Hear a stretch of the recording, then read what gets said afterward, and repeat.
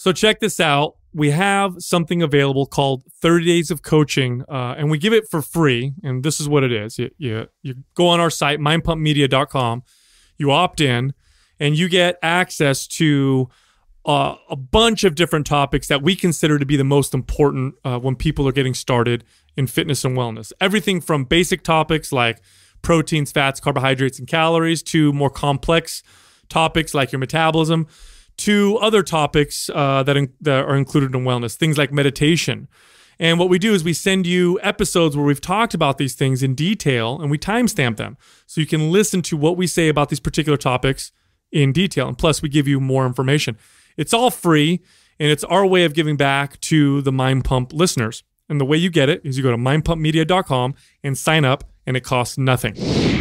So just recently, we had an opportunity to uh, hop on a show. Travis uh, Marziani, great kid, man, and we had an opportunity to try out his performance nut butter, and all of us absolutely loved it. Uh, this kid, it's really great to watch what he's doing, and uh, just his work ethic, uh, the thought that he's put into putting this product out. It looks amazing. It tastes amazing. It's all it's all natural. It's keto. It's vegan. It's uh, it's uh, it's macadamia, coconut, and cashew nut butter all together, and it's phenomenal. And he's trying to launch this company. So one of the things about Mind Pump we've kind of been this way since day one is we've turned down a lot of people that we could have done affiliations with to make money and one of the things we all agreed on is that we anything that we'd ever talk about would be stuff that we support even a company like this that can't pay us any money isn't huge isn't going to be a major affiliate he's trying to launch his indiegogo right now and get this business up and running and we want to help support him so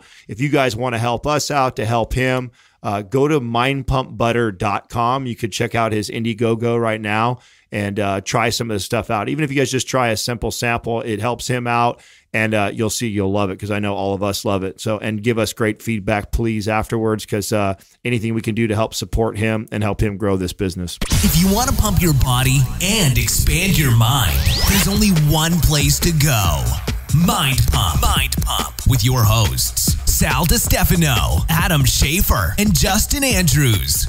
Holy shit, we're finally dropping the Dom Diaz. Oh my God. So we know you guys, I, if, you, if you have been fasting, waiting it for this, Christmas? you may be dead. I know I know we've had fans that have been waiting to hear the Dom D episode. Mm. We have been waiting for approval from NASA. Those motherfuckers over there. He's not lying. That's the truth. We recorded this episode a long time ago. Dom came to visit us. We recorded an awesome podcast with him. We talked about, of course, ketogenic nutrition. well, we talked about super top secret shit that goes down with NASA, and that was the reason he, he hmm. right away said, "Listen, boys."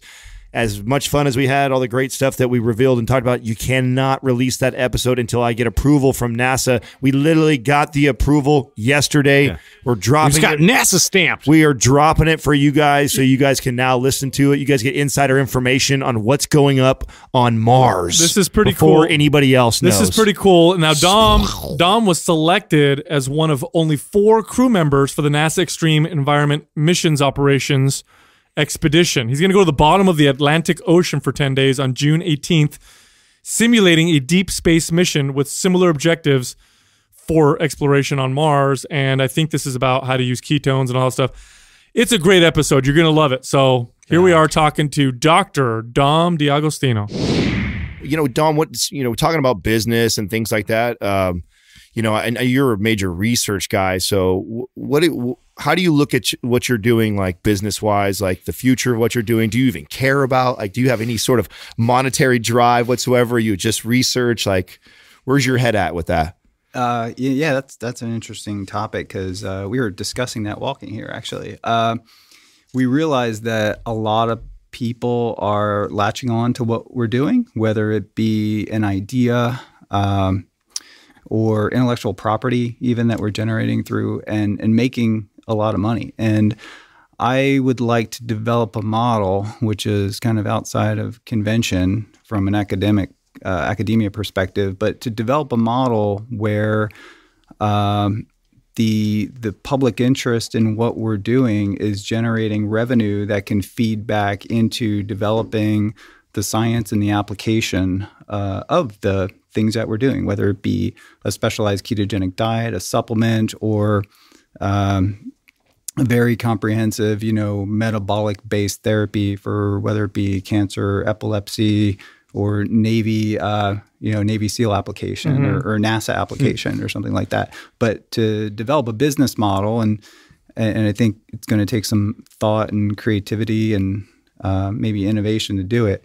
That instead of trying to beg the government, the NIH, I saw was getting like a 20% uh, cut in their funding. And that's where I'm supposed to be getting, you know, money for, mm-hmm. for my research. But uh, to do it through other channels. And uh, because you really need to keep reinventing yourself and be innovative if you're uh, uh, a researcher, uh, an investigator that wants to fund a lab and pay salaries and I think the challenge that you have with that is, um, which you guys, I'm sure you guys are aware of, is from the research uh, side, from the science side, you follow uh, these protocols. You have hypotheses, you test them, you, you, um, you know, there's peer reviewed process.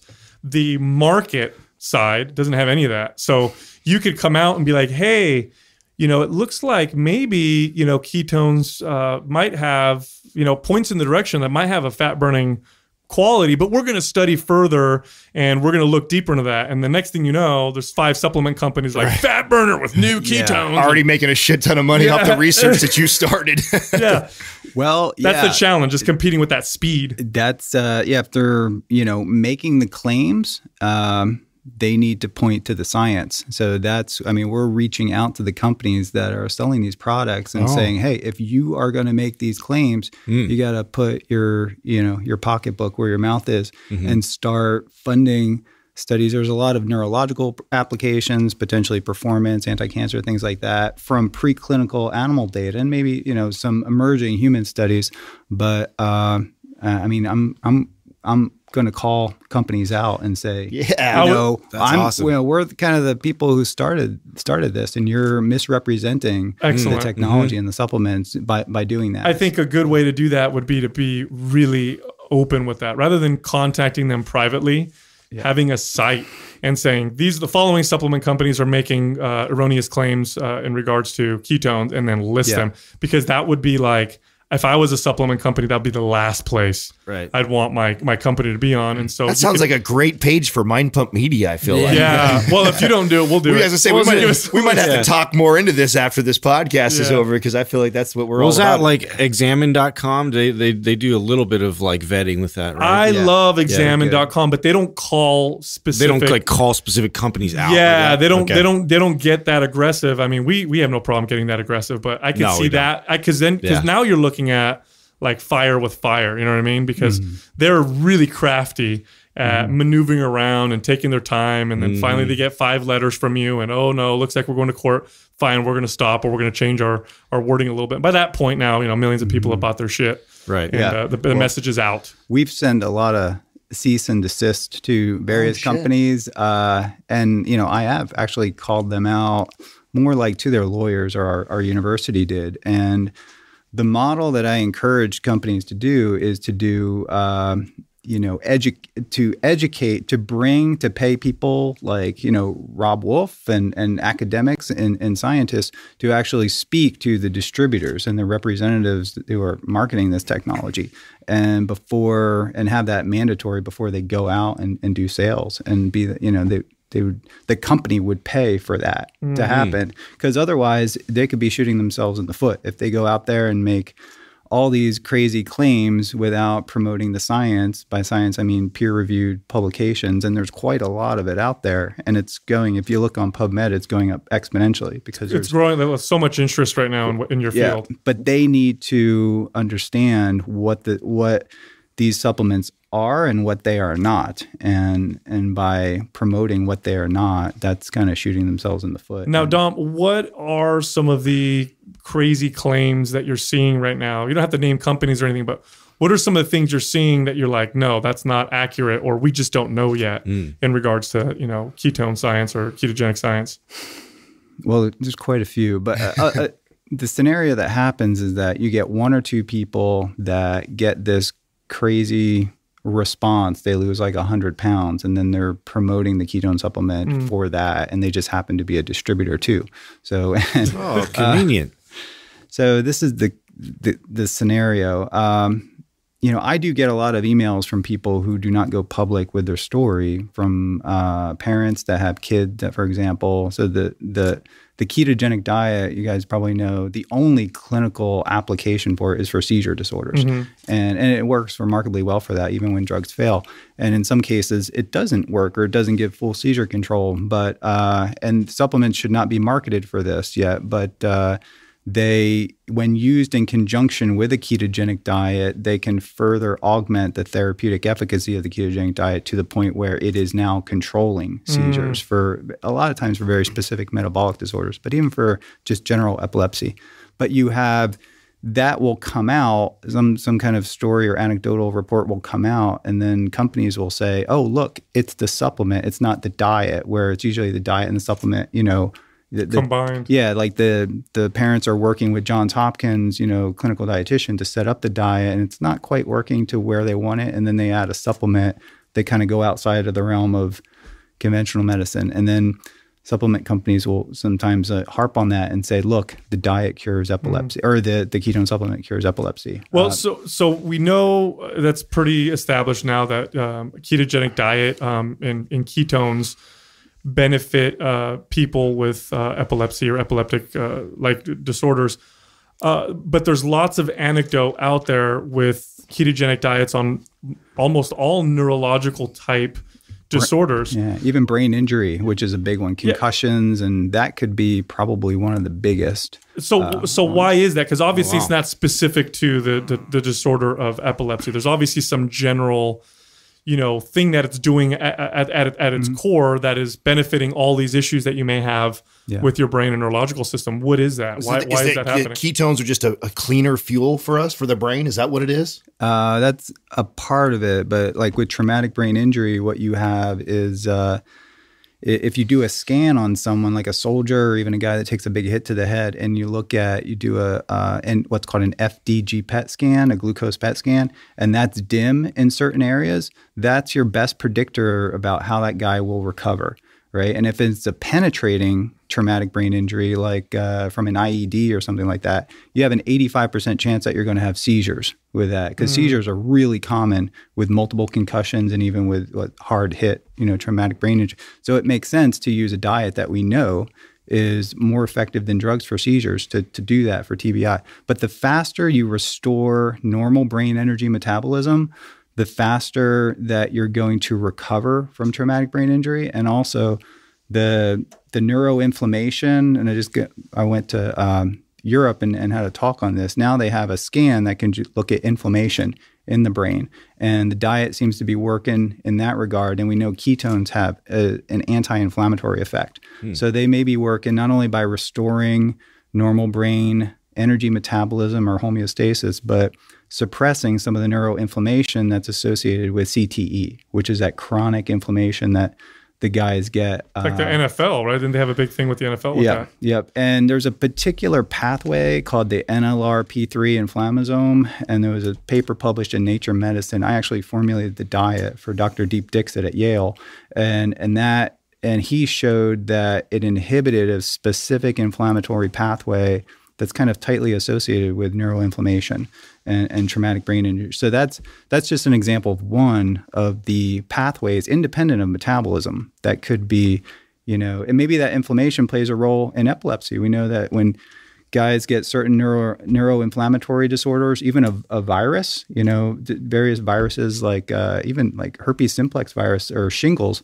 Some a couple people were emailing me when they get it, they were getting uh, uh, epilepsy or getting seizures, and when they would get a breakout, and we know that that virus causes neuroinflammation, and we know that the ketogenic diet or ketones can suppress that. So it may be working not only through metabolic based mechanisms, which uh, you know most people are studying, but we're looking into the immune system and inflammation. Actually, a big part of uh, Andrew Koutnik's uh, research as a PhD student is to look at the immune system and the the inflammatory markers that are associated with ketone supplementation. Is uh, is glucose metabolism or you know working with carbohydrates is that inherently inflammatory on its own and is removing that part of the the, the process? I mean that's a tough question to kind of a general thing to ask, but uh, you know I'm wondering Yeah. if how much of an effect comes from uh, just the, the ketones themselves and how much of an effect comes from possibly just the elimination of you know carbohydrates. That's a good question. So, when you take a, a hit to the head, or even if you have a neurological disorder, uh, two things will impair glucose metabolism, including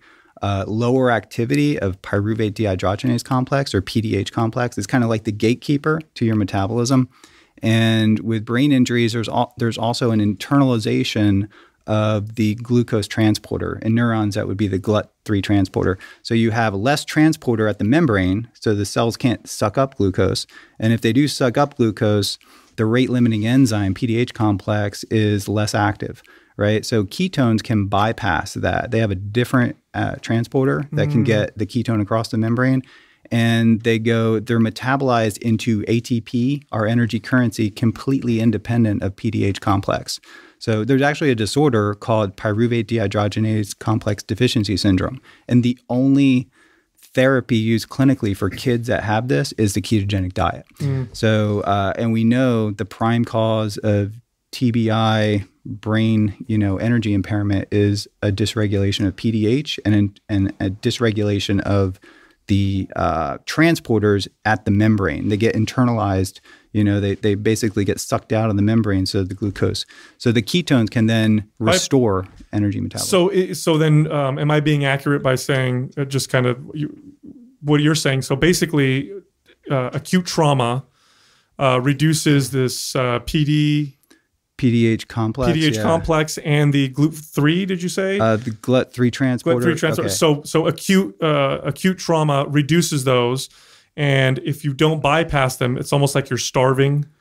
Yeah, and then you have excess glucose. I think maybe that was So getting to the both. Mm-hmm. question. So you have uh, a surplus of glucose in the cerebrospinal fluid, the CSF. Wow. And and in your, you know, there's actually this acute insulin resistance too to your body trauma, Hmm. and that can cause inflammation, something called advanced glycation end products or AEGs, and that can wreak havoc and cause uh, or havoc and cause uh, membrane lipid peroxidation. It can epigenetically suppress, you know, or, or trigger pro-inflammatory pathways. So when you, whenever you have a surplus of glucose floating around in your brain, in your body, that's going to trigger a cascade of inflammatory. Wow. events. So so somebody gets hurt, they get injured.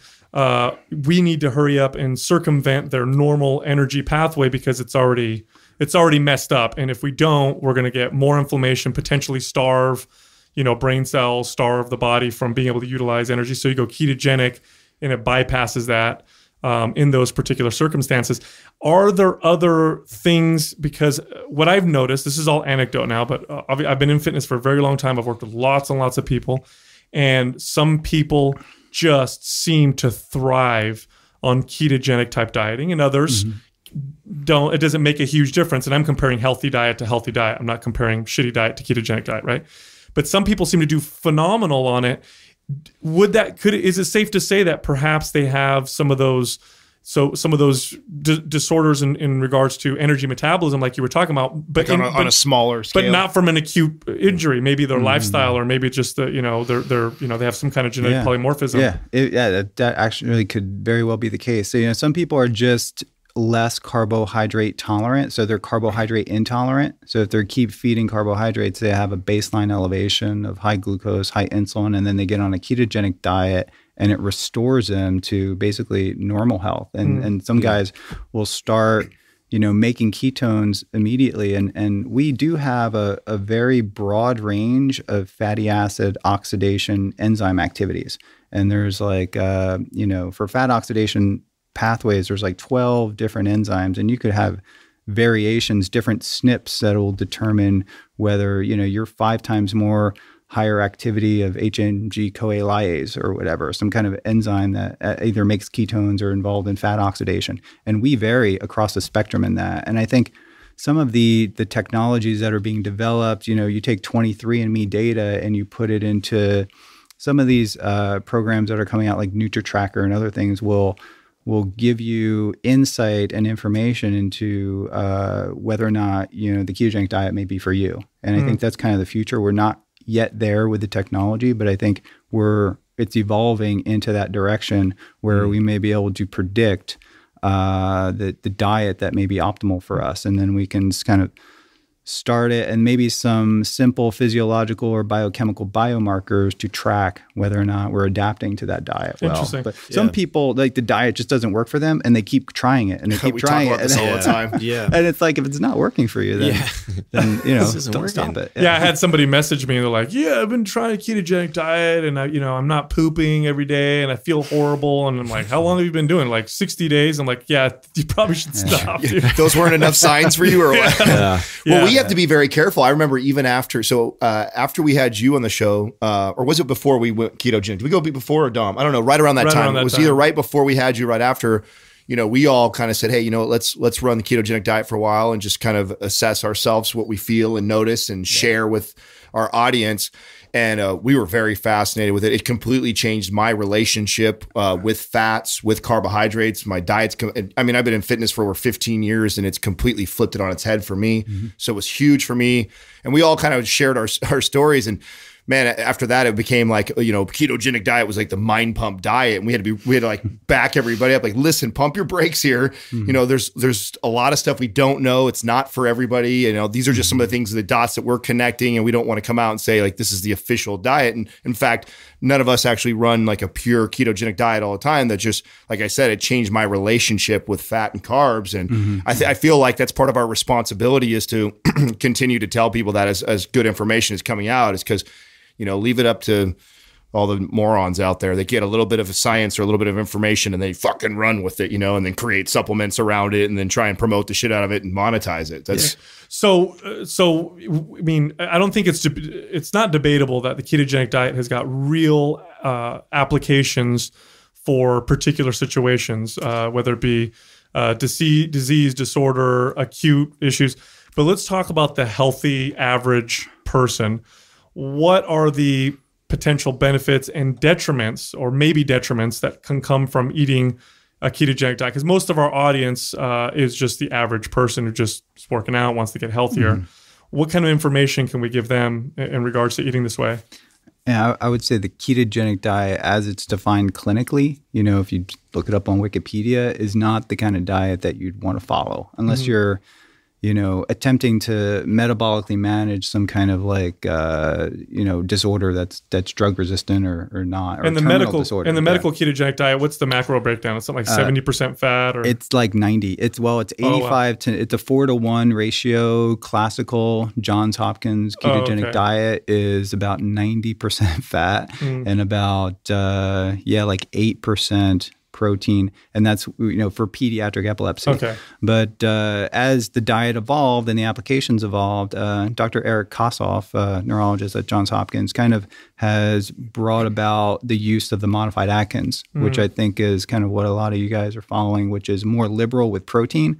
So you're you can upwards of 20, typically 25, and even upwards of 30% protein, and the balance being uh, uh, fat, you know, now we understand, you know, certain fats are, are better than others, and to eliminate certain polyunsaturated plant-based fats um, and do monounsaturated fats are probably the ideal fat to have, and um, and carbohydrates at you know five, and even in some cases up to ten percent if they are you know of a certain fiber content uh, can be can be added in, but um, but so the modified Atkins diet is probably the one that would be most applicable to the general audience. And I think as we age, our carbohydrate tolerance decreases mm, as we age, and that needs to be recognized. And I think we could probably, uh, you don't.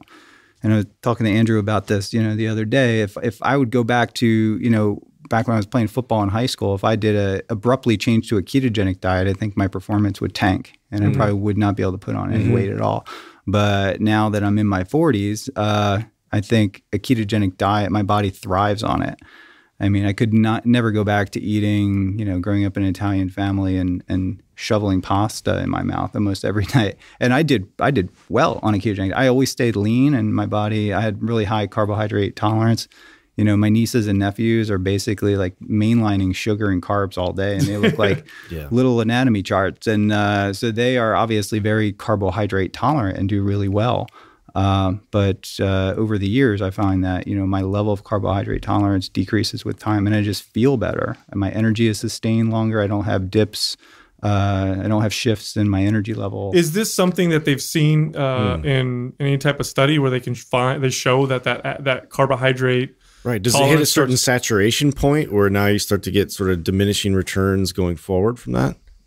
uh, as far as what, like as far as like is is I'm on I- I'm eating uh you know carbohydrates like primarily and like going through and I'm growing up like eating a ton of carbohydrates. Is there a point where you know like you said like as makes you get that older, switch? yeah, wh- wh- Yeah. when does the switch happen? Uh, I think it's largely dependent upon your activity level, obviously, but I think uh, hormones too. I mean, your insulin sensitivity when you're growing up through the teenage years, especially, is just really high, even through your early 20s and everything. So your uh, body is much more responsive to like anabolic hormones. So protein synthesis is just happening at a, a faster rate. You're repairing muscle tissue faster.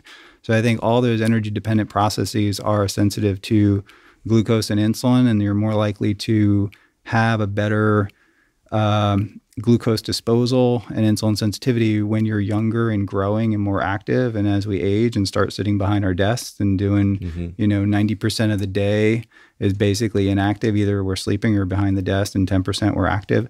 Uh, that's kind of uh, well, maybe the kids today are like that, but uh, that's uh, when I was growing up. I was pretty much half, you know, more than half a day. I was just running around doing stuff, working on a farm, like constantly active. Do you think maybe that it's just a just a And- chronic like like you know from because I'm I grew up Yeah. in an Italian family too, and it's like I just ate carbohydrates all the time, and maybe after a while my body's like no, like Yeah, that's yeah. enough, you know. And I, I think our mitochondrial capacity too uh, decreases with time, and it's inevitable. I mean, it's part of the aging process, right? Uh, but I think what's interesting about the ketogenic diet, when you force your body away from glycolysis, away from sugar, it's forced to metabolize fats and ketones for energy. And when you do that, and it's well established that uh, it's a stress initially, but your body there's mitochondrial bioener, you know, uh, biosynthesis. So you have more uh, mitochondria over time, and the efficiency of the mitochondria increases. Uh, there's more mitochondrial biogenesis. So uh, these are th- real things that happen over time. It's been shown in animal models and athletes too. It's kind of the effect of exercise, but even independent of exercise, if you were to shift the macronutrient profile of the diet to higher in fats, you make more mitochondria. And that's, I consider that like energy reserves. So by having more mitochondria, by forcing your mitochondria to work harder, uh, the hormetic response or whatever you want to, you have more metabolic flexibility. You can go back to eating carbs and glucose, and then when you shift back to fats again, you have the mitochondria there that are uh, responsible for beta oxidation of fats to make energy. So I think you know, training your body to burn fat and ketones for energy and periodically, you know, using glucose uh, under certain situations, I think is w- would be ideal for the average person. If that's where you're getting I at, think like an average yeah, and I uh, anecdotally that's how I do it now. Mm-hmm. Um, and uh, I had um, some autoimmune issues uh, years ago, and I found that eating more fats and less carbohydrates just made me feel better. And I've gradually, you know, uh, moved towards a you know being in ketosis a lot of the times. But I did find that if I went out and in every once in a while, I would get boosts in performance in the gym, and just all of a sudden I would get these great effects from the ketogenic diet again, like I like I had before. And from an evolutionary standpoint, it kind of makes sense, right? Like, why would we have the ability to use both, you know, glucose and ketones? Like, it seems like we found if we found fruit and we found tubers, we're gonna eat the hell out of them, and if we didn't, then we just ate the meat that was around us. So, it- would you say that's beneficial to go back and forth? And Yeah. okay, Our It- body knows what to do. I think there's a lot of confusion out there that if you do eat this way and then go back, you know, you'll have insulin resistance or whatever. But I think it's kind of good to stay uh, for the average person, unless you're managing like you know some kind of um, disorder, uh, to to switch in and out. And um, yeah, I think we're designed to do that, and I think our bodies kind of work better uh, when there's relative changes. Like, um, and I think it's better to adapt in that way. We're much more metabolically flexible. Dom, when you when you look at uh, the younger generation coming up as a whole, right? And I know everyone's individualized here, but if as a whole, what what's the advice you give uh, to someone like that as far as you know maybe the eating habits that they're creating, you know, in their teens and twenty and twenty years old? What what what what do you see? Yeah, um, is a problem or that could become a problem for them? And how would you advise somebody in that age group? That what would you say? Uh, are saying for like the like just saying general. teenage, well, yeah, yeah, because yeah. we know, like, Well- I mean, obesity is on the rise. We have more information Yeah, out yeah. there, right? We have the, the science is better, but yet we're we're it, this is We're st- just fatter and yeah, we're getting so that to me, I feel like okay, Mm-hmm. well then. What's going on here? This mm-hmm. doesn't make sense to me. So, someone with that's a scientist like you that does a lot of research and understands the effect of carbohydrates and fats and the benefits of ketogenic diet, you know, and if if you were advising a, a younger person that's coming up and you know eating Captain Crunch for breakfast and then Pop Tart before he does his workout and then smashing his you know protein bar and then, I mean this is kind of like his his day, which was a lot of how I ate, you know, growing up. You know, what what would you say to someone like that? Well, I would look at what they're doing and kind of say, you know, how's that working for you? And uh, and then analyzing w- what they're doing and uh, to bring them back.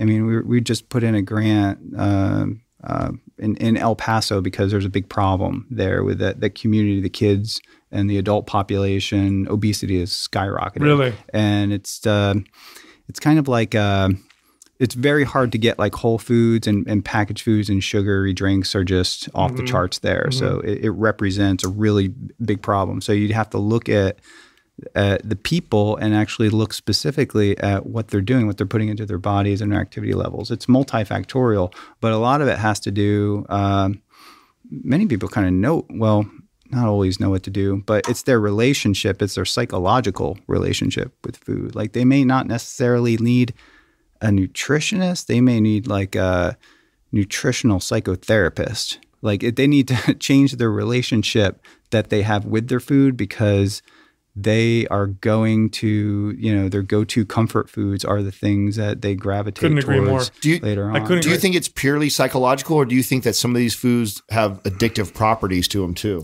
the physiological changes and the neuropharmacology of the brain literally changes in ways that make us psychologically dependent upon uh, foods and even generally speaking macronutrient ratios of foods like you know certain it's both. So you could say it's engineered somewhat, right? yeah Yeah. yeah, Oh come it- on! You know how much money these these, these massive Some people companies- won't admit this- that though. This was a little area Yeah. that, that we didn't see quite eye to eye with Layne. I know we're all good friends with Layne, and, Yeah. and Sal loves the jab at him in this area. We all are in a Yeah, little yeah, group we like thread. to poke the bear. I, And- talk, I talked to Layne about this a lot yeah yeah, This is And- what, what. Yeah. What? Tell me what your your thoughts on this. Well, uh, there's no doubt, and I think Layne will even agree that. So my perspective is when it comes to, you know, and the, the big thing is kind of weight loss and body composition changes. You know, getting leaner, and that comes down to being able to control.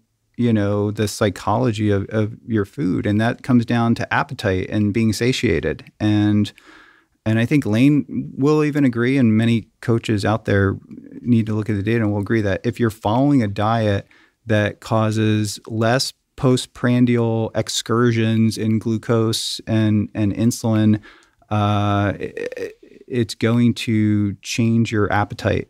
So our our desire to eat or to binge, I would say, which is a problem if we're calorie restricting for any period of time, uh, is a result of a, a hypoglycemic event. Like if our if we have like normal blood glucose and do not dip into hypoglycemic zones, we're not going to have these cravings that really send us over the edge. And I think you could do that with, um, you know, and if it fits your macros, kind of metabolic. uh, You don't feel like that's kind of flirting That- flirting with it though. Like you, you can do that, but some people can do that if you have willpower. But the ketogenic diet, or just you don't even have to be ketogenic. Just you know, A high fat, low carbohydrate restriction. You know, low low carbs, um, moderate uh, fat, even in high protein diet would work because protein has a satiating effect too.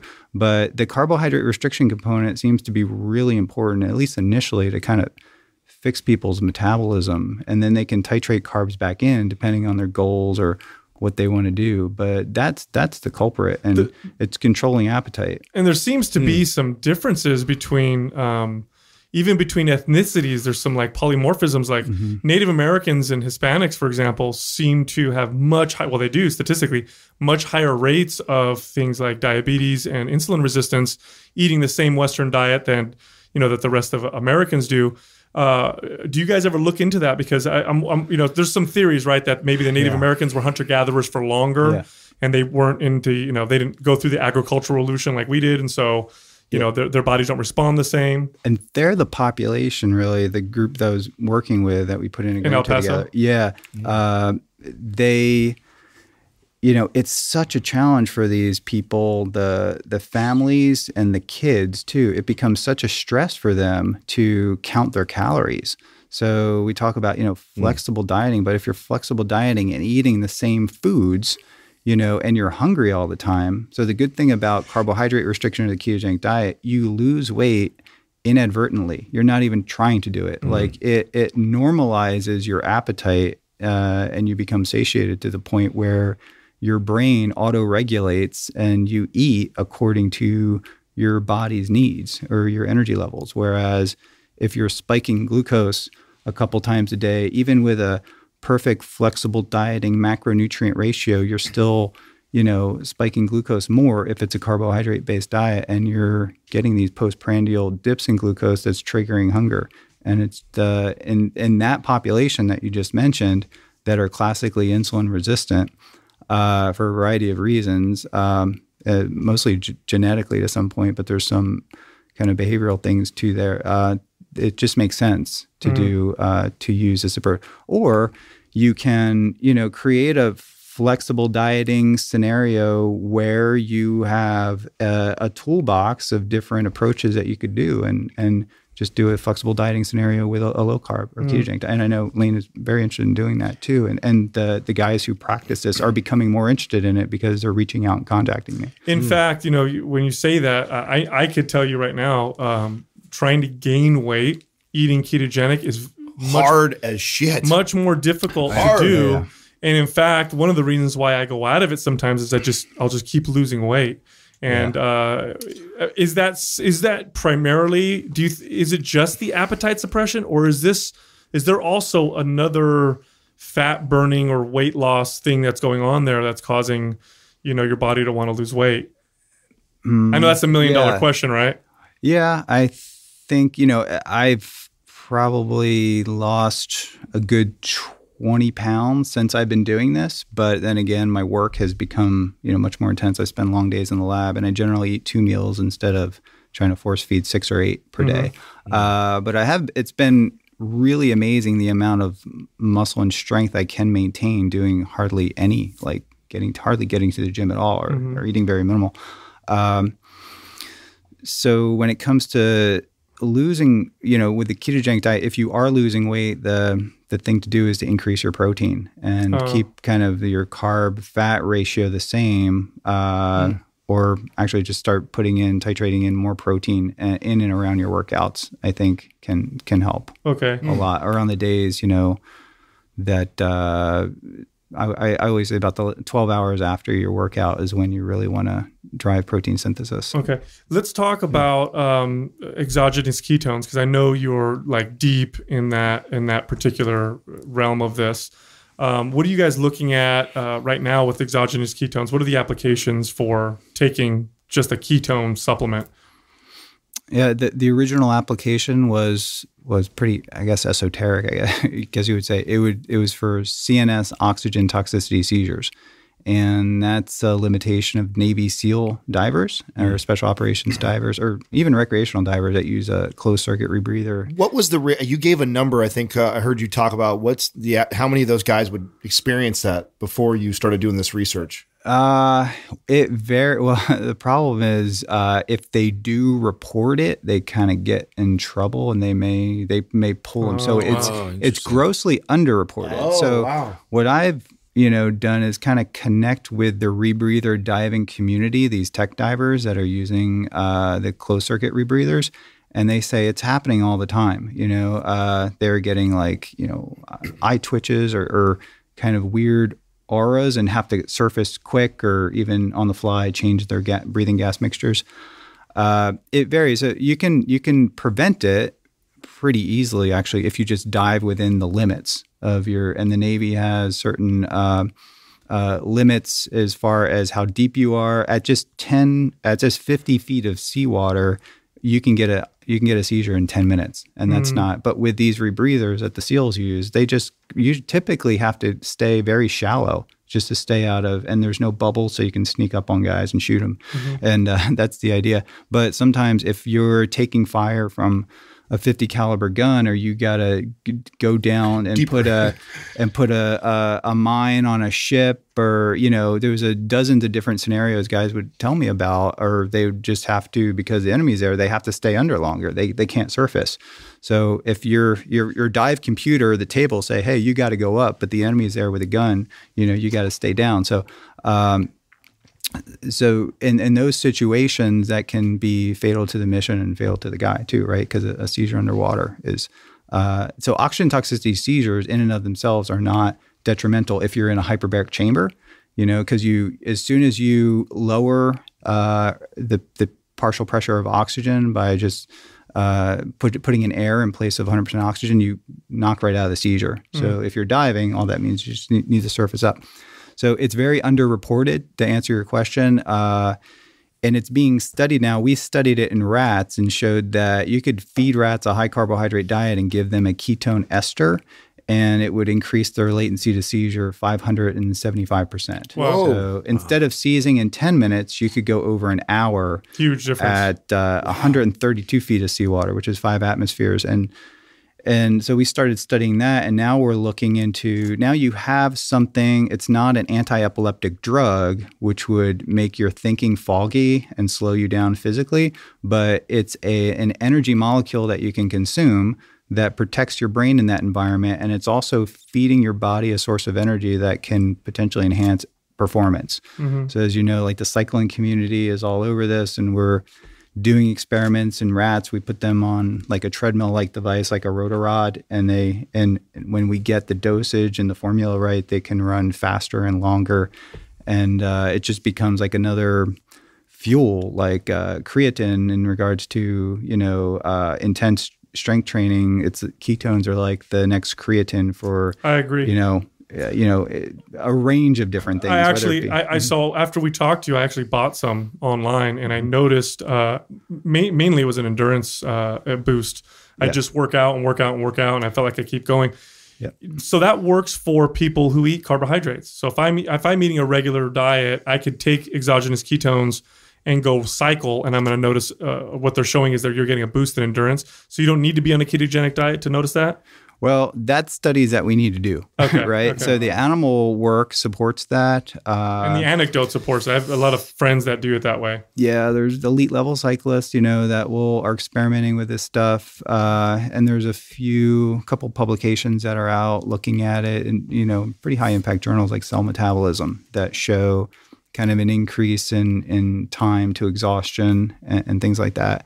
Uh, it needs to be further you know explored as to what is the and there's dozens of different types of ketone supplements out there which make it even more interesting because i mm. think re- the real benefits come in formulating something that's not just ketones but ketones and other other energy metabolites and cofactors that make those energy metabolites uh, be able to be utilized more efficiently in the cells Interesting. so that's we're really excited about formulating things Yeah, because right now on the market, I think the one I got was uh, was just beta hydroxybutyrate, right? Just in uh, salt. I think. Yeah, It's just salt. And in the studies, you guys are using something else. Uh, well, we use you can make you can combine beta hydroxybutyrate to many different uh, molecules, you know, and call it a salt. If it's combined with sodium, it's a it's a sodium That's salt. That's I think the You one I used. Yeah. and you could combine it with potassium, magnesium, any monovalent or divalent cation, or even amino acids. So that really, uh, and if you spread the beta hydroxybutyrate across many different uh, electrolytes or minerals and even amino acids, that allows you to be able to take in more of it. Because if you just make a sodium one, you're getting a bit of a sodium overload, or if you make a magnesium Oh, one, and that becomes a you're gonna limiting be factor? Crapping it out, yeah. so, Oh so, wow. yeah. So it's that That's, that's exciting. formulate it- you know the ketogenic diet makes you deficient in some things like potassium for example and even mm. magnesium i was deficient in magnesium and until i started supplementing and i felt much better i didn't get cramps and uh, some of the supplements on the market are combining beta hydroxybutyrate with magnesium and that shot my magnesium levels up really well in the top end of normal, where I was in the bottom end of normal. Mm. And the magnesium supplements on the market are kind of pricey, and the ones that are cheap, like magnesium oxide, didn't do anything to my magnesium level. Oh, so you were actually testing your blood to see if it. yeah, I tested uh, my minerals and things like that. So, so you could formulate uh, a ketone supplement that would be a great supplement to the ketogenic diet if you're or a low carb diet. So if you're doing a low carb diet but not not hitting ketone levels uh, to a point where they would be kind of ergogenic in a way, you can supplement with ketones and still get the benefit of low carb diet and ketone supplement. I'm also reading a lot of people online talking about a nootropic effect from Mm-hmm. uh, supplementing with. Well, okay, so it's been around for a long time now, where you hear people saying, "Oh my God, I went, you know, I started eating ketogenic and I can think clearer. I'm, I, I feel sharper." So you've got all these brain hackers who eat. Mm-hmm. Do you think it's diets. from the keto the ketones, or do you think it's because of the suppressing the carbohydrates? Which one do you think it's? Uh, yeah, that's a good that's a good point. So if you're putting in energy or calories in the form of ketones, people need to recognize that if they're consuming these ketone supplements, it is a source of calories, Mm-hmm. even though the FDA doesn't really have it. You know, it's not in the food label. It doesn't say it. You know, when you buy them, you're like, "Oh, there's no calories in this." Yeah, yeah, and I think marketers try to play that up. But yeah, you are consuming calories, and you'd be uh, your appetite might go down because you're consuming, you know, calories, right? Your your body has kind of energy sensors.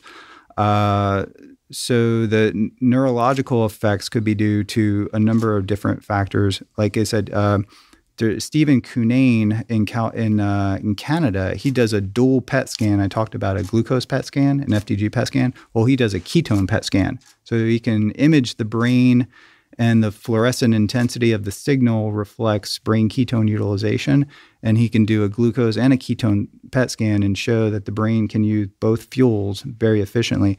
As we age, we have impaired glucose metabolism as we age, but that's not the case for ketones. So our ability to use ketones as brain fuel does not change as we age as it does with glucose. So I think the the people that maybe, you know, benefit from this most are the age population or people with some kind of impairment or the special operations community or if we're See, a lot of what I do is studying the physiology and the neuroscience of extreme environments, whether that be like altitude or space or the hyperbaric environment. The um, the in that case, ketones shine. They seem to shine because they can uh, suppress oxidative stress and they preserve brain energy metabolism and function even in the face of an oxidative challenge or an extreme environment. Uh, but when it comes to a normal, healthy person, I think the the jury's still out as to whether it's beneficial. There's anecdotal reports out there, and I can even say myself, I notice it if I'm a little bit hungry during the middle of the day or something. I've fasted quite a bit, and I take ketone supplements without a doubt. I mean, my energy, mm-hmm. I'm more focused. I can kind of work more productive. So it may just be that their brains weren't just working very well and with with glucose, and so now on the ketogenic diet it works well. They've got good energy, and they feel a boost, but not necessarily because it's a boost on its own. Yep. And You know, there's there's other, you know, as a scientist, I have to critique even these anecdotal reports and even myself. So if I was to give an equal amount of sodium and fluids and it increases my blood volume, I get better circulation to the brain and you know, even a little boost to my sympathetic nervous system mm-hmm. when you when you get a little bit of sodium and fluids in you, and then that could be stimulating. You mm-hmm. know, mm-hmm. uh, so you have to tease out I'm- all I'm- these effects. I'm glad know? you said that because this is the thing that always worries me when I'm hearing us talk about this right now is we get this little bit of science and good information that we're learning. Now all of a sudden the market takes it and and I can argue or I could pitch that if this supplement uh, it could help increase stamina and like you know endurance type runners that it could help you build muscle because now you could go longer and go harder and increase volume. So now i can sell it as like a muscle building supplement or even possibly a fat burning supplement when really it's like splitting hairs on how much it's really beneficial especially if all the other shit in your life's all fucked up. Like you're not Yeah, drinking yeah. enough water your sodium's off your macros are all fucked up but now you're buying this $50 supplement because you think it's going to help you burn fat or build muscle Yeah, yeah. So that's why we really need the studies and we harp on that all the time. Uh, in regards to building muscle, there is some data to show that ketones can be anabolic in some ways. Oh, that's a big one. Yeah. What, and- what is it showing? What is the science showing? Uh, well, uh, it, it, it depends. There was a study in humans actually where they gave like IV ketones and looked at uh, leucine metabolism and protein synthesis and showed that it went up in the presence of an uh, you know IV administration of sodium beta hydroxybutyrate. And there was a couple studies in animal models, one in a, an animal model of muscular dystrophy that showed that acetoacetate, which breaks down from beta hydroxybutyrate, and we we can also we develop forms of acetoacetate, and we think it's important to get a ratio of acetoacetate to beta hydroxybutyrate in the blood to get optimal effects. That acetoacetate has uh, can mitigate the the muscle loss and even uh, aid in, in muscle regeneration in particular disease models. Um, and it's a it was a some preliminary reports on on on animal models showing that. So that's something that we want to study. Actually, uh, Andrew Koutnik, the PhD student in, in the lab, uh, is you know focusing on mitigating cancer muscle wasting called cancer cachexia, and we are developing a, a mitigation strategy to prevent that. And and from an evolutionary perspective, if we're fasting. Um, our body will shift over from using glucose to fatty acids and ketones for fuel. Uh, the brain does not readily uh, get fatty long chain fatty acids as a source of energy.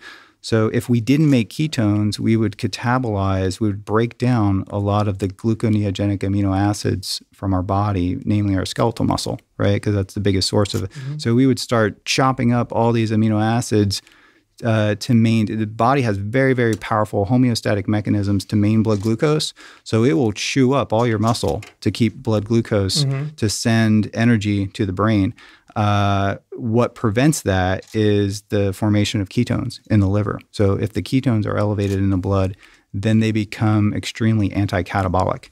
And that's the evolutionary you know one of the main purposes is to supply your your brain is like 3% of your body weight but it sucks up 20 to in some cases 25 and 30% of your energy. So it's a massive energy sink and your body will do everything in its power to prevent it from being energy deprived so if you have ketones elevated that's a tremendous buffer from catabolizing you know uh, amino acids from your muscle so they're, they're very anti-catabolic in that sense Wow. So let's talk about current research right now. What are you are you able to talk about what you're working on now? Because I know a lot of the stuff you do in the past, you've worked with the military, with the Navy SEALs. Yeah, I'd love to talk about you're what we're working doing with- with NASA. Yeah, yeah. Can that's you go into some of that? Yeah. Uh, so we have, I would say, you know, a half dozen or more different kind of like active projects. Uh, the big one that kicked everything off was oxygen toxicity seizures. And uh, that was done in uh, a Sprague-Dawley rat model where we just can, you know, gave ketone esters and looked at the effects of, of mitigating oxygen toxicity seizures. And that work has recently translated to uh, projects that we're writing up and working on getting funding for because the agency supports it. It's Office of Navy Research and NAVSEA. It's part of the Department of Defense to do an, an analogous study in humans where they are in a hyperbaric chamber and they are exercising uh, at a level of hyperbaric oxygen that would be equivalent to you know various uh, missions using a closed circuit rebreather and looking at uh, oxygen toxicity and actually taking these guys to seizures or they, Wow. they actually Wow. have physiological biomarkers with that they can detect that are early indicators that you're going to have a seizure Interesting. and, uh, and then so they, they can have- predict it, like, okay, this guy's about to have a seizure. yeah. So they they focus on that, but they also have guys. Uh, so they're underwater, sort of exercising, but with their head above water to catch them, so they don't get. So these are experiments that are kind of being uh, are in the process now of, of getting funding, uh, and will be done at, at Duke University in collaboration with with our lab. So it's a it's a translation of our preclinical animal work to the human population, which we've been working for, working on. And and some of the more potent ketone supplements are not yet FDA approved. So we actually we're going to use the ketogenic diet because when I first got into this, there was such a stigma on the ketogenic diet killing athletic performance that the Navy didn't even want Oh, to touch it. sure. But now, as some of the data is emerging, it's showing that, well, it may not be so detrimental to performance. It actually may be helpful. So they kind of warmed up to the idea of using a modified Atkins diet uh, to produce ketones in addition to some of commercially available ketone supplements that can be formulated and to put these guys on and, and to do the study. So, so oxygen toxicity uh, is one, and also uh, exercise performance. So warfighter performance uh, is, is, a big one, and mm. that's our program officer is actually the program officer for undersea medicine and also like warfighter performance.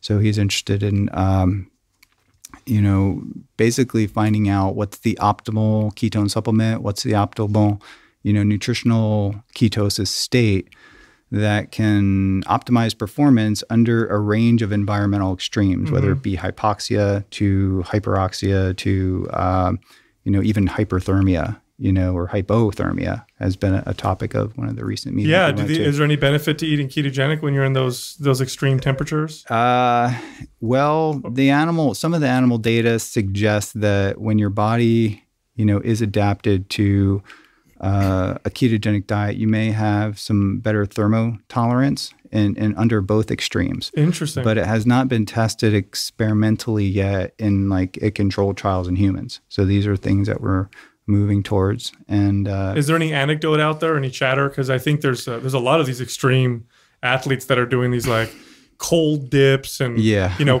cold and hot contrasts. Is anybody saying mm. like, hey, ketogenic diet helps me with that? You know.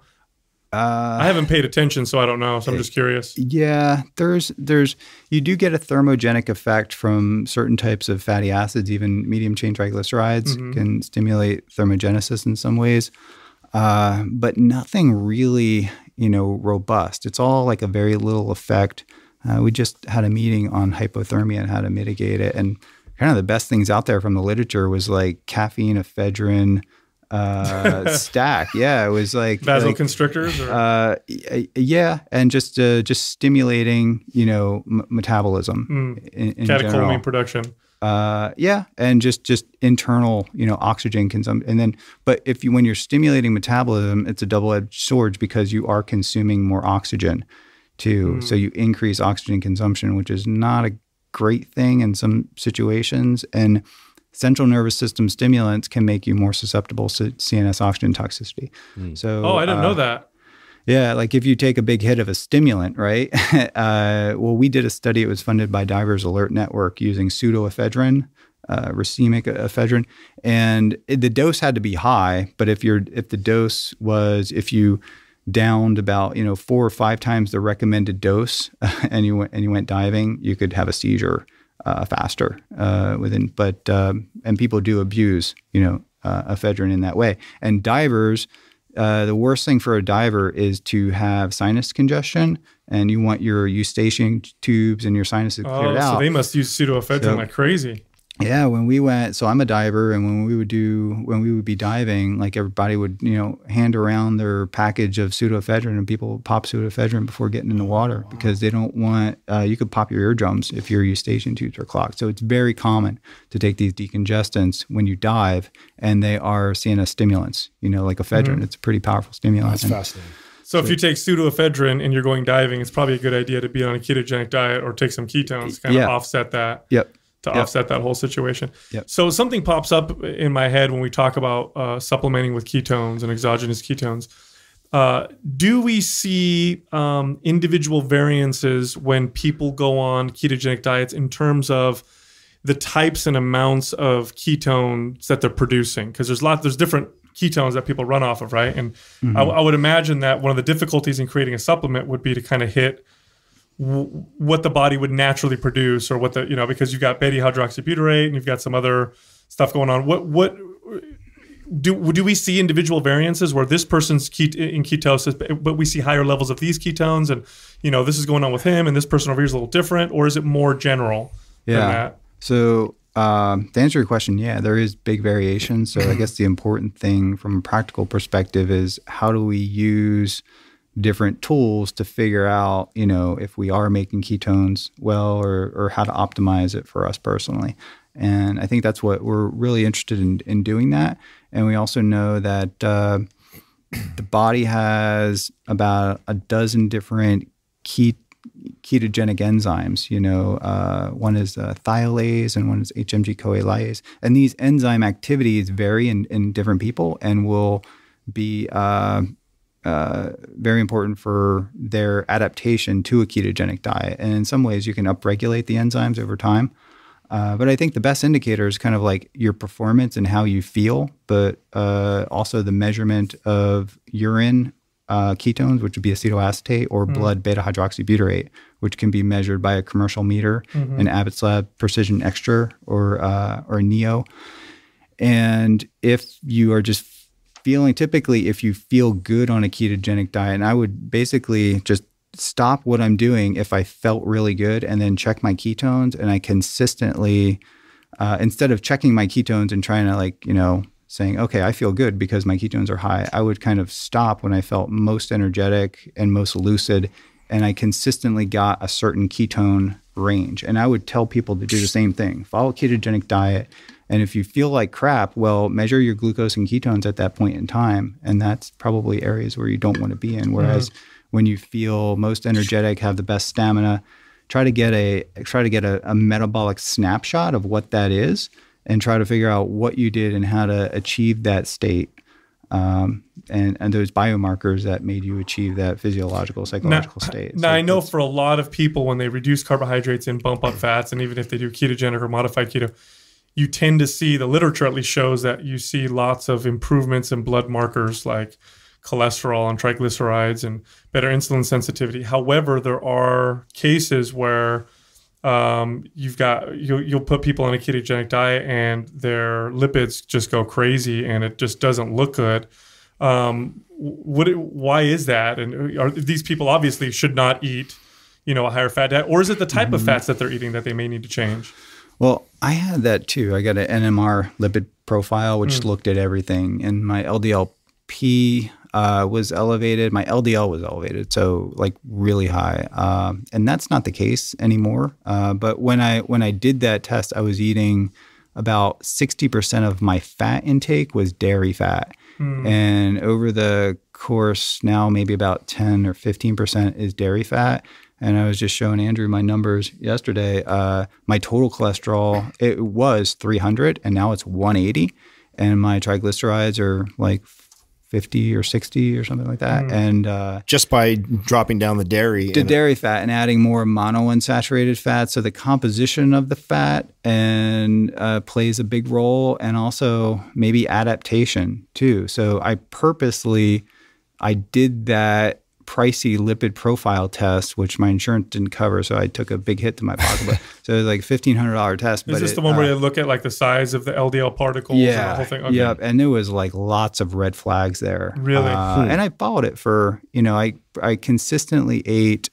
Uh, what I the experiment was like eating my keto mousse, which was like basically a quart of sour cream a day. So I was getting like 250 grams of fat. Sounds fucking awesome. Try, uh, you know, and my weight didn't even really go up that much. Uh, but which is interesting because I, I am a good fat oxidizer, but no other biomarker or what I consider a biomarker of general health was elevated. My C reactive protein was like uh, 0.1 in a range. So everything yeah. else was great. Everything. Uh, my triglycerides were even pretty good. Uh, they bumped up a little bit to maybe 65 or 70, but on a general scale, that that was really good. My glucose was good.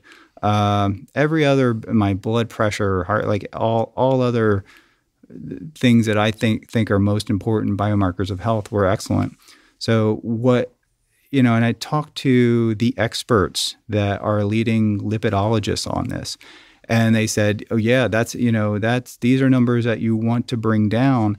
But then I questioned them. Everything that we know about you know LDL and LDL, you know little particle size and things like that, we understand it in the context of a regular diet. We do not understand what these numbers mean in the context of a ketogenic diet. Wow, that's a great point. Radically different than the eating pattern of a normal diet. Because that same so, number could be horrible. Or what, do, what do they say to you normal. when you say that? Do they do they respond? What do they respond to you? They say that's a that's a really good point, and uh, and they say you know well well you have to ask the question of why why is it elevated, and I think you know, the LDL particle are like little boats that carry around cholesterol and even triglycerides. And if you're eating, if you're pounding tons of fat, which you do, you know, on especially a classical ketogenic, you're going to need more little boats in there to carry around the fat. So I think it's the body's way to just upregulate uh, a transport mechanism for fat and cholesterol Mm-hmm. and, and things that you're eating. So, uh, and I think there's more maybe turnover too. I think your adipose tissue kind of opens up where you have more fats coming in and being stored, but you have more fats going out and being so there's just like more rapid turnover of triglyceride in the adipose and probably in the liver and other intra-organ kind of uh, movement of fatty acids too as you adapt to it. Um, so I, I think that's the reason, but we don't know. I mean, classically though, those markers are correlated with And that's why you change your diet because you're like, well, we don't know, but I want to make sure. Yep, yep. We don't know, and I, uh, I basically, I'm trying to figure out, you know, what is people ask like, what should my fat ratio be? If you were to, you know, take a biopsy of someone's adipose and look at the primary fat, which in which is in the adipose, it would be monounsaturated fat. So uh, I think from a very simplistic point of view, it would make sense to kind of eat the types of fats that our body prefers to store as an energy source for use of energy source. So uh, a lot of people think like a, a steak is like pure saturated fat, but if you look at a steak, it's it's mostly monounsaturated. Especially if it's grass fed, you see a different, Yeah, little bit of a different fatty acid there is- profile. yep, that changes it too. Um, and I actually I was talking to this uh, a few years ago uh, with Donald Layman, who is uh, uh, Eric or uh, Layne Norton's uh, PhD advisor on fatty acid composition of different protein sources, and he was like, it was his impression that a steak is actually perfect. You know, kind of a, a, a fat source. And, Hell and yeah. Where we were I love about- this. You just made my day. Yeah. the, yeah, the talk was ba- basically about, and this was goes back years ago about the um, the demonization of saturated fat and and uh, and and what what types of fats would be ideal for for the Well, I also think it's interesting that when you look at cholesterol n- numbers, y- very, very high cholesterol is correlated with early death, but it's also correlated with longevity. Some of the long, like the oldest people. Yeah, how worthless Yeah, are yeah. the the basic cholesterol studies? I mean, the a test that a doctor gives you nowadays is it worthless now? From what we know now, uh, what- Uh, I, yeah, I definitely. I mean, it's much more important to focus on your triglycerides. If your triglycerides are elevated, that basically means that your your fat metabolism sucks. So if you have all these fats floating around, they have the potential to be oxidized and wreak havoc on different things. But uh, I think you know your triglyceride number that tells a story. And the fastest way to lower your triglycerides is to eliminate uh, or reduce carbohydrates. Yep. Because if you have sugar and glucose in your blood, and your body's not your body's not going to suck up the the triglycerides and, and use that for fuel if it has glucose. So there's the kind of a competition there. So if you lower glucose, that forces your body to uh, dispose of essentially the triglycerides that are floating around in your system and to oxidize those as fuel. I always, I always found it fascinating with cholesterol. There was a, there was a little stint there where I did a lot of research and reading myself uh, on the internet, um, and it was crazy because I found people who had relatively, or by current standards, high cholesterol, so over the over 200. That's like the people who are like the centurions. They all tend to have this kind of higher cholesterol, or Yeah. at least those that do get less infections, are stronger, have more mobility. And then LDL, although high LDL was was connected to heart disease, it was also connected to uh, stronger immune system. Like people didn't get infections uh, as often with high LDL, and people don't realize that low cholesterol, like really no, low numbers, are strongly connected to uh, mental, uh, you know, issues like depression. Yeah, You and know, like- so it's an interesting. all cause mortality. All cause mo- yeah. yeah. So uh, yeah, cholesterol is an essential building block. Your brain is like a big chunk of cholesterol, fat and cholesterol and phospholipids. So it would make sense that uh, it would make real sense that if you're deficient in cholesterol, that could be a, a very serious thing. Uh, and when it's high, that's I'm not convinced that that's that's a bad thing. Uh, if your LDL is high, uh, it's good to have your HDL elevated to Uh, pretty, I, I'm pretty convinced that low HDL uh, can contribute to, to heart attacks. Just seeing some of the numbers out there. Um, there's various things like uh, anabolics can really push your HDL down into like even the single digits sometimes. So um, it, it, I think it's really important to keep your a healthy HDL uh, level too, like 60, 70, 80, even 100. What Probably- Well, so uh, who are the kind of people that you would say you could say right now that probably shouldn't eat a ketogenic type diet? Are there, are there any? Is there any kinds of people that you'd say, okay, look, I don't think I'd recommend this to you, or is it more of a try it first and then determine?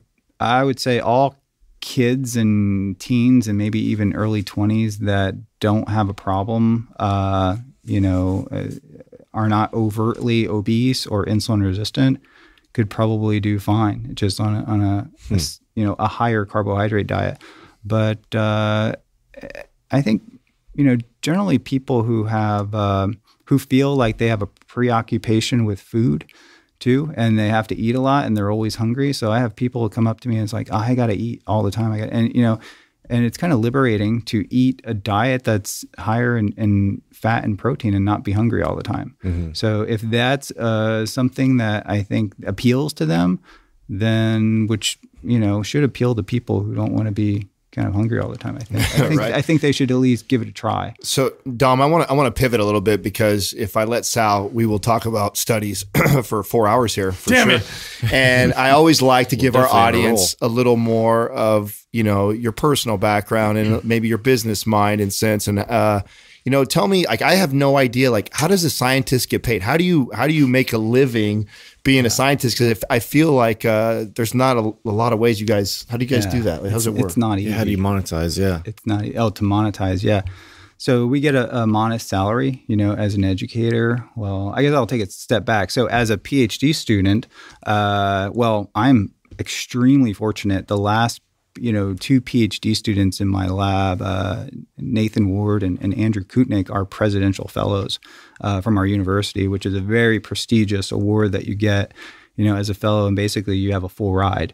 So, and that as a principal investigator running a lab, the biggest hit to your budget is actually when you take on a PhD student to do research in the lab, and they re- really are kind of steering the wheel. They're in the trenches you have to pay their stipend, uh, which is like twenty five to twenty seven thousand dollars a year.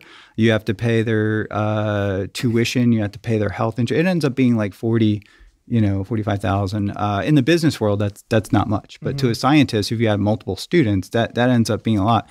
So we have to get that money from federal grants, or or if we're lucky enough, grants from industry.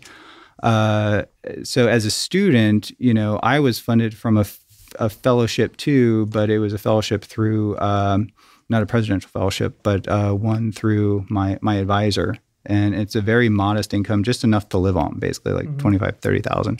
And then as a postdoc, you get bumped up to maybe after you finish, kind of like analogous to a residency, if you do your MD, you're getting paid maybe about forty to forty-five thousand, mm-hmm. and that money uh, you start after your PhD, you work as a postdoctoral fellow, and your that period is your period to shine and to establish yourself as an ind- independent investigator. So you pick a project and you just keep writing grants and writing grants until you get funding to fund your own salary. Uh, and it's kind of sounds know, daunting 12 16 hour days of research not only in the lab are you doing research and running your own experiments but you are uh, your PI typically has a little bit of money to get you started, but basically says, you know, go do the research and and write grants to get your own funding because I don't want to keep having to fund you, you know, all the time. And if you move on and then get, you know, I was lucky enough to get funding through uh, the Office of Navy Research. Um, to do it. I had submitted grants to many different agencies, American Lung Association, American Heart Association, even NIH, and they all got rejected. Uh, wow. But then I, I, wrote a proposal to do something that was really high risk but high reward, and it was to, to develop uh, hyperbaric atomic force microscopy, which is a type of microscopy that allows you to like zoom in on cells and get ultra high resolution scans, like in a like an electron microscope, but you could do it on living tissue and it was kind of like an out of the box. And we were going to take this technology and instead of using it on like Silicon Valley applications like materials, we were going to like image living cells with it. And then not only that, we were going to take this technology and stick it inside a hyperbaric chamber that could simulate all sorts of environmental conditions, whether it be the you know top of a mountain or uh, the undersea environment. Now, are you watching mainly. the cells real time with this? Yeah, so you can Wow. you can image cells real time. The tip uh, with an atomic force microscope, the tip uh, actually in- interacts with the sample, so you can like functionalize the tip. You can push in on the membrane and do Hmm. See what's you going on. membrane Wow. viscoelastic changes and and uh, so m- with my postdoctoral fellowship, I just I tended I, I did something. Uh, I got funding to do a pretty uh, novel project, and that was a stepping stone uh, to to other grants and to work with other investigators who wanted to use this this kind of technology. Um, and then you know working with office of navy research uh, because they funded the project they're more likely to fund you to use the tool that you developed you know so that led to another a larger grant which led to a larger grant and a larger grant. And then i moved from a postdoc to what's called a research assistant professor but on soft money which means the university was not paying me. I was paying all my salary and paying even the people under me and paying for all Through my the grants. experiments. Yeah. So completely soft money. And uh, and then I It hit, sounds like a pain in the ass, dude. yeah, you're always like on edge because if you lose your funding, you know, they like kick you out. Like, So- do do? So nobody You- goes into this to become rich, basically. you've been in the game for a long time. and you then. can't your salary's set like you you know the school basically says well you can pay Hmm. yourself that amount and it's just enough you know you can't you really get supplemental income but then i transitioned into what was called a tenure track position and you get five years to be and in that five years if you do if you publish x amount of papers if you pull in x amount of research dollars typically in the millions they want if you uh, teach x amount of classes and serve on you know th- you know x amount of uh, committees you know service to and there's this metric that you have to hit and if you hit all that within a a five year time frame, and that time frame does seem very compressed. Uh, what all you get, they you can get promoted to tenure, and I recently got that like last year. So, in that tenure, what that tenure does is they basically the school uh, covers your salary up to 50 to 70% of your salary. And then you have to pay the rest of it through grants, but it secures your position at the school where you have to do something illegal for them to like fire you or something that's completely out of line.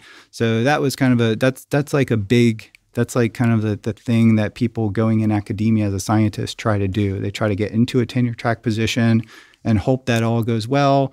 And then when you come up for tenure, you have to submit this huge packet of information. There's a committee who evaluates it's no you. joke, man. And It's- yeah, How many? So ti- how many is times? this, yeah, is any of this like intellectual property that you can keep for yourself, or do you have to, a good uh, question. yeah, sort of give this away to the people giving you grants? Uh, that's a really good question. So, depending on the agency that's funding you, if it's a company or an industry, the contract may say in the contract that they have all the rights to the intellectual property.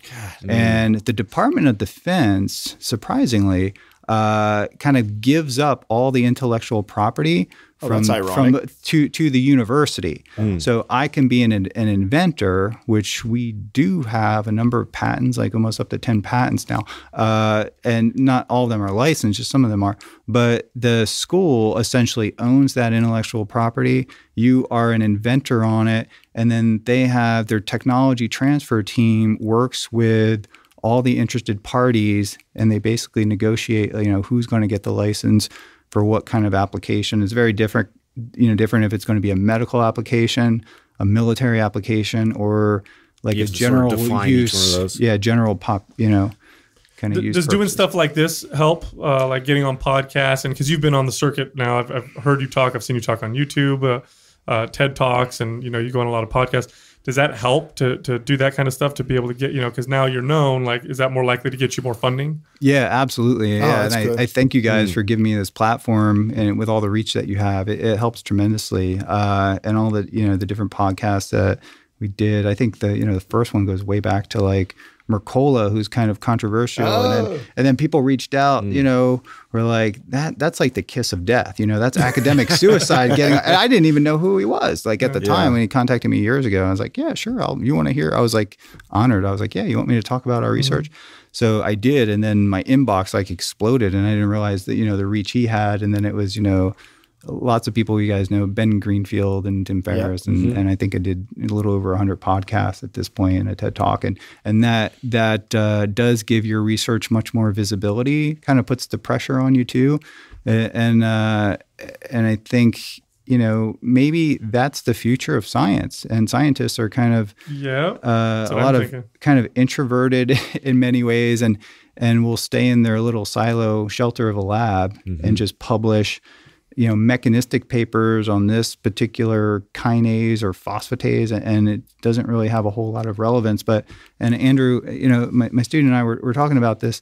We're really lucky to be doing research that the public at least perceives as things that's very translatable. And when it comes to diet there's like so much uh, you know, public interest in diet and people get very emotional about it and it hits them like at the core. Yeah. You know, if you're promoting a diet because that empowers them, it's not some weird esoteric pathway that you can develop a drug for that they can't really relate to. I mean, this is like uh, not just macronutrient ratios, but specific types of foods and supplements and things that they can use to empower themselves to treat a disease or enhance their performance or whatever. And that's pretty exciting uh, because I was in a pharmacology department. And when I started doing this high fat diet research, I saw some people like raising their eyebrows at me and just saying, you know, you just entered a tenure track position and you're trying to go, you're going to get tenure trying to do research on a high fat diet. You know, they thought it was like the academic kiss of death, you know, like the third academic suicide. But uh, but I kind of knew intuitively if you're doing research that people are interested in and it serves the public like in some way like the information and research you're putting out there it's going to come back to you like even if the government agencies are not funding this kind of research like if you're putting out good stuff like it's just going to come back to you you're going to we're going to stay afloat one way or another Dom, do you do you ever do you ever have that fuck it? I I just instead of chasing all these grants and get I mean I feel like you got to connect a little bit with Navy SEALs like all this hard behind the scenes work that nobody really you know, glorifies at all nobody ever hears about or knows right? Like is there other uh, do you have moments in your career where you were like you know what? I'm, I'm done I'm gonna go make some money and that's all because a guy with your level of intelligence I feel like could do almost anything he Yeah, really wants. circles around yeah and make a ton of money. uh, do you battle with that ever? Uh, well, also the thing that you know would make me marketable or to make money is the the the science. You know, so I am I'm really passionate Yep. about developing because I believe in what we're doing because we see it in the lab, and I feel like we're just at the cusp of mm. this. And maybe if I was like you know, in my you know 10 years from now, like in my mid 50s or something, and you know, I would have a different perspective. But right now, I feel like we put in so much time and effort just to get this thing rolling in many different directions. And you know, we have students that are you know in the lab and things too, and they they're working on projects. But uh, but I feel you know the science still needs to get out there. But when it comes to make it, yeah, a university setting can be very stifling and in many ways because there's a massive amount of paperwork and i spend 70% maybe 80% of my time just doing paperwork mm-hmm. writing grants and things like that and not connecting with my students and not kind of in the trenches you know you know drawing blood or measuring this like in the lab where when you're a postdoc i spent 90 you know 5% of my time or 90% of my time just sitting at the bench like running experiments and doing like crazy kind of science stuff and now it's just like a lot of paperwork because it's not just the science and i got to do you know teaching and i got to do committee service and uh, and all this other It, stuff yeah, it's it doesn't seem to be super conducive to the creative process. Uh, you know, to be in that a good- environment. well, I know like, you know different scientists like uh, Otto Warburg or even like Hans Krebs. If you guys know the Krebs cycle, like they're in their institutions, they actually freed them up. Like in the old day, if you were kind of a productive scientist, they would pull all other obligations away from you and the university or institution would give you money and just kind of put you in the corner like go do good stuff and report back to And us be free. yeah yeah Be free. yeah, and that's that- awesome. That's like that. that That's a never dream. That's happen the ultimate, huh? nowadays. I guess Yeah. if you know some donor, you know, donates and and says we really like what you're doing, and Mm. we think that you know maybe if we can give you some some money, of course, you know there would be like benchmarks, you know, and every Mm-hmm. Every quarter report back to us on on your findings and things, and that's understandable. And like the Department of Defense does that. You have to give like technical reports if they Do they give you more projects. freedom than the universities do? Uh, yeah, they do. Uh, I would imagine because they're They- like they- they they, are do. looking at the military and they're like, look, we need to figure Yeah. this shit out now before yeah. you know. Yeah, I think you get more latitude, So- right? Yeah. There's yeah, you when you get funding from them, you have to write up technical reports. I think if it's if you're DARPA funded, which is you, you got to do it like every month or like every quarter. But for the Department of Defense, like in uh, in May, I will go to the Office of Navy Research Undersea Medicine annual review, where I got to step up on stage and present everything to the bigwigs. And this is what I did this year, and uh, you know these are the projects that I want to do, and that sort of thing. And then it's kind of a conversation. So you don't- not only submit technical reports, you have to kind of present your stuff to to the uh, the organization, and that's uh, and, and that's that's to be that keeps you on that keeps you in line too, right? Because if you didn't have these benchmarks, then you wouldn't be have something to strive for, and you could be steering off in this direction or that direction. So Dom, do you feel like um, because I, I got to imagine like when you're doing this type of research, you got to just be buried in it. You know, like you mentioned, 16 hour days and just thinking about it probably nonstop. Like, do you find uh, that you do you have exercises that you do to kind of detach, or do you have things uh, that you're interested in that that uh, grab or that you know kind of help separate that part of your life for balance? I mean, Yeah, I mean, my wife makes sure of that, right? So, um, yeah, it's like uh, when I got married uh, a year or so ago, it was like you know my weekends are for play, for downtime, and things like that. Unless it's something, some big conference that you know I could bring her to. But uh, we have dogs, and every night we kind of take the dogs out and uh, run with them. And I try to get to the gym. For me, I like motorcycles, so like the ultimate downtime for me is to kind of get home and get on my motorcycle and go to the gym and then listen to music and the combination of like music, motorcycles, gym, heavy weights, you hmm. know, meeting, talking, seeing some familiar faces and everything. That's like a huge dopamine kind of rush and dump and it just gets me back. It kind of resets my whole physiology. And then and whatever's on my mind, I could have the worst day like all day, but if I go to the gym and have a productive workout, like everything changes. Like Oh, everything's can good. So, uh, yeah, I think we can all connect with that for But sure. But you seem like such a driven Absolutely. person that you could probably probably just love what you're studying so much that Yeah. if you don't check that, you'll just absorb yourself and Exactly. everybody else disappears. And I think you guys can relate to that Totally. too Oh, yeah. because you guys love what you do and, and what you do is awesome. And I could like I'm kind of really envious. You know, you're you're feeding off of all these uh, people that you're bringing in and learning new things that you can apply to yourself and promote and disseminate the information out there. So yeah, I mean, my my students will will tell you, and I have to kind of tell them, you know, to back off. I was like, you know, you guys are working a little too hard there. You gotta you gotta take some time off and enjoy things.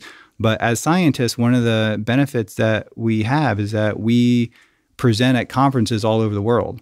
So uh, we do have the opportunity to go and present at all all these different places, and we always take a, a day or two out to do some sightseeing and have some fun doing that. But you know, no matter how busy it gets, uh, I always block out X amount of time. You know, at at the least it would be thirty minutes, but usually more than that per day, just in downtime. you know, ta- Awesome. talking about your peers and, and doing that, like who are some of who are some of your favorite humans that you've met and that you've got to mingle with, and, Besides us. or yeah, besides us, uh, and research wise or whatever, like that you've came across. I mean, Yeah. Wow. There's so many of them that I consider like mentors and good friends now. Um, like, yeah, people that had really big info from my PhD advisor, uh, who uh, was pretty inspirational. Dr. Uh, Jay Dean, who basically developed this idea of doing science inside these hyperbaric chambers and building microscopes and electrophysiology equipment inside these hyperbaric chambers to stimulate. And nobody else in the world was doing that. Uh, more recently, you know, I, I have a position at the Institute for Human and Machine Cognition, and that's run by uh, Dr. Ken Ford, who uh, he found me because he he was actually doing the ketogenic diet for like a decade, and he was a former executive uh, director person at NASA and developed his own institute, which is uh, really about building kind of humanoid robots, like the stuff like a Terminator type things. And he got, I think their institute got second place in the DARPA Robotics Challenge. Uh, but his institute is two things it's human and machine cognition. So it's developing robotic, developing different uh, artificial intelligence uh, kind of projects and, and humanoid robots to uh, basically understanding the science and the physiology of extreme environments. So it's part of it's like uh, engineering uh, artificial intelligence, and the other part is understanding the physiological limitations of these extreme environments and developing research programs to develop countermeasures, even ketones as a countermeasure to enhance performance in extreme environments. And a lot of it's NASA based based things. Uh, and I've met, you know, some really fascinating people uh, that have worked with Ken, including Michael Gernhardt, who's been up on the space station uh, many times and played a big role in doing the EVAs and, and developing various technologies that are up on the space station now. He's a astronaut. He was also with Ken. He was the principal investigator of the lunar rover, the Mars rover hmm. Project. And actually, uh, when I was at NASA, Johnson Space Center, he gave me a complete tour of everything, including the neutral buoyancy lab, where the, the mock up of the space station is underwater. And he took me to the uh, the rover and let me drive it out on the lawn. And I was yeah. able, you know, doing like burnouts and skips yeah. and stuff. That's awesome. So that that was really cool. So most these expensive are, RC vehicle. exactly. Yeah. Figure eights. That's so awesome. it was a pretty big vehicle. It's like uh, you know we had three of us in there when we were driving it around, and it's one joystick. And oh, right. go. It can spin on a dime, and it was really cool. So these are the kind of people that I never thought getting into this path of research would bring me in touch with these these guys that are really icons in, in the field and icons in what they do. Uh, and they've been mentors to me in many ways. And and working with uh, uh, the Institute for Human and Machine Cognition, uh, my former uh, or my a good friend of mine, Dawn Kernagis, who, who is also a full time employee there, uh, just served on the NASA NEEMO 21 mission, which is an Earth based space analog down in the Keys. And it's basically a laboratory underwater where you test out different technologies uh, that are tracked for the International Space Station and Orion, or uh, the basically what will be the mission to Mars. And uh, and you so know, cool. And that's happening, right? That, that, I mean, didn't NASA just say like we are going to go to Mars? Uh, yeah, yeah. So there's a lot of things that the public might not know about that need to be done, you know, in in in analogs here on Earth, and it's testing different technologies, whether it be um, you know testing different foods or different you know drills or basically you know a whole range like dozens of technologies was they were uh, uh, studied on the NASA mm-hmm. NEEMO 21 mission. And uh, actually, just recently, you know, our lab has, uh, w- you know, under the umbrella of IHMC, will be contributing to the NASA uh, NEEMO 22 mission, mm-hmm. which will test uh, nutritional ketosis. and we'll look at things like body composition, heart rate variability. We'll look at gut microbiome. We're going to look at metabolomics, uh, you know, basically getting a snapshot of how our metabolism changes in that extreme environment and how ketones can help mitigate some of the it, some of the effects. It looks like a lot of money is going into mm. using ketogenic diet or ketones to mitigate uh, potential like damage, like acute or long term type damage to the brain in the body, extreme environments or mm-hmm. oxygen, you know, hyper oxygenation or too little oxygen or concussion or all these different scenarios where you know uh, you you can cause some serious damage to your body. It looks like there's a lot of money going into looking how ketones can help help those situations.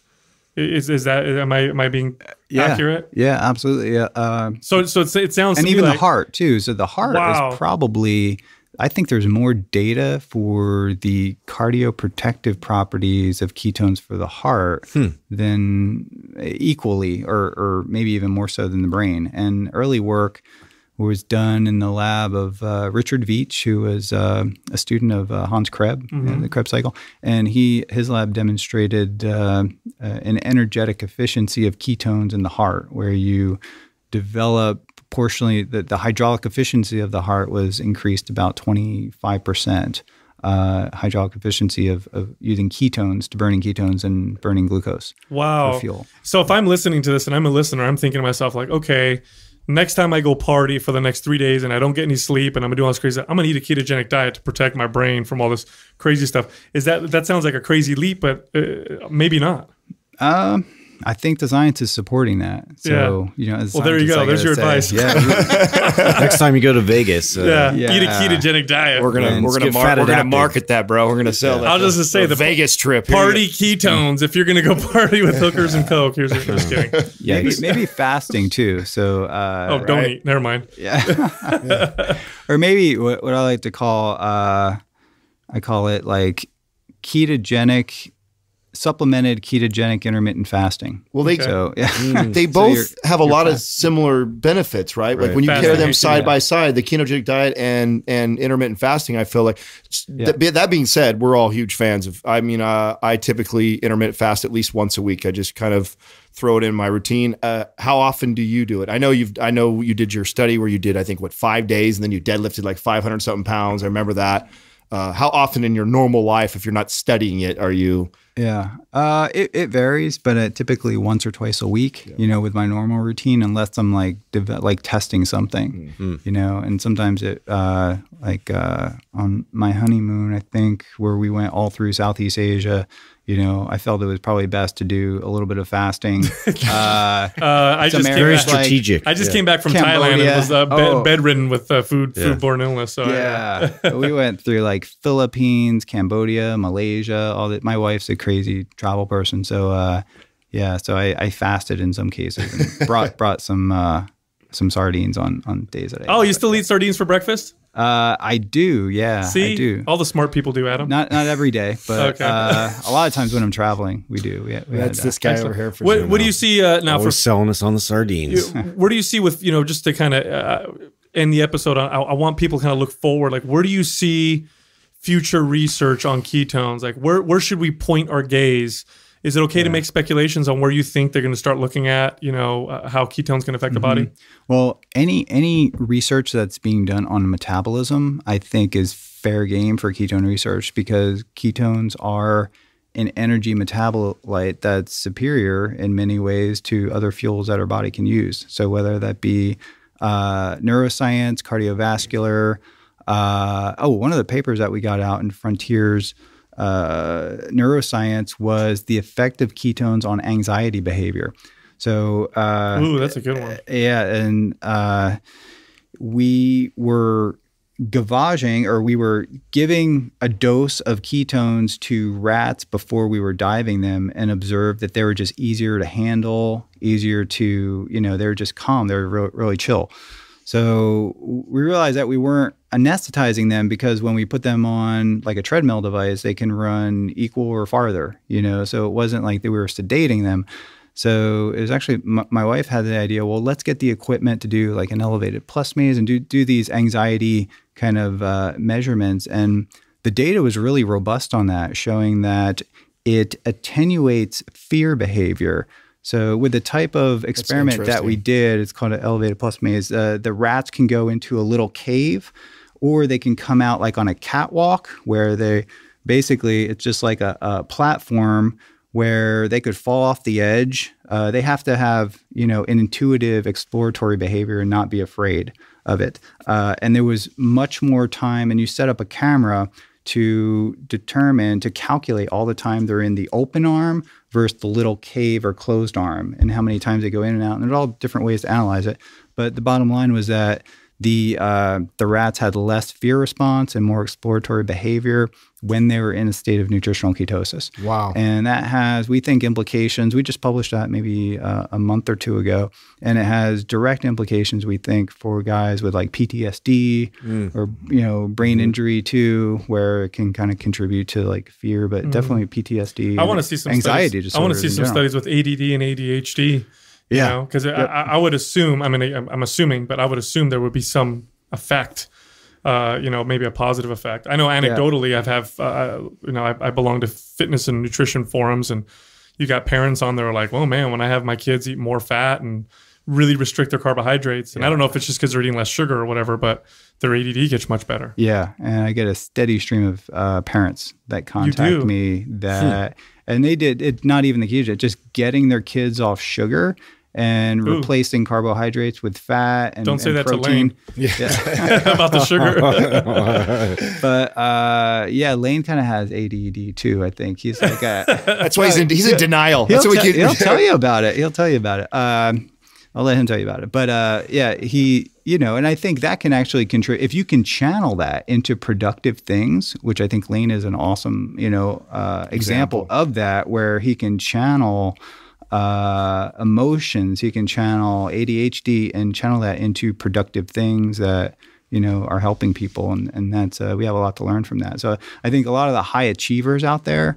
Uh, many of them are people that have, you know, ADD. the classic picture Yeah, of like Einstein's desk, and it's just covered Yeah. in shit, and it's Yep, just yep. super disorganized. And you hear that a lot about you know you know smart people. So if you know, I always say that when uh, people uh, uh, talk about how messy my car is on the inside. Yeah.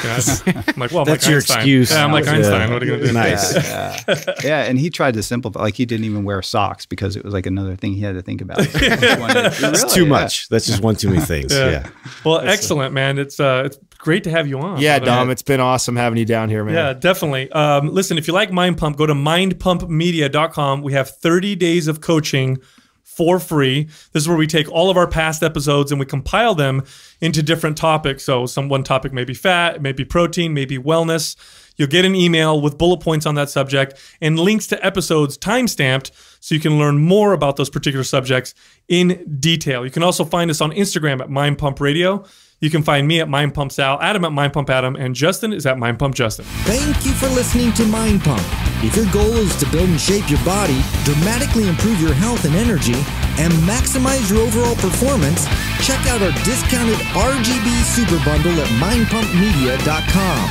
The RGB Super Bundle includes MAPS Anabolic, MAPS Performance, and MAPS Aesthetic. Nine months of phased expert exercise programming designed by Sal, Adam, and Justin to systematically transform the way your body looks, feels, and performs.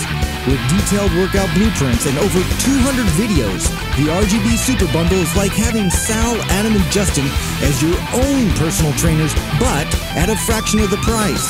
The RGB Super Bundle has a full 30-day money-back guarantee, and you can get it now plus other valuable free resources at mindpumpmedia.com. If you enjoy this show, please share the love by leaving us a five-star rating and review on iTunes and by introducing Mind Pump to your friends and family. We thank you for your support, and until next time, this is Mind Pump.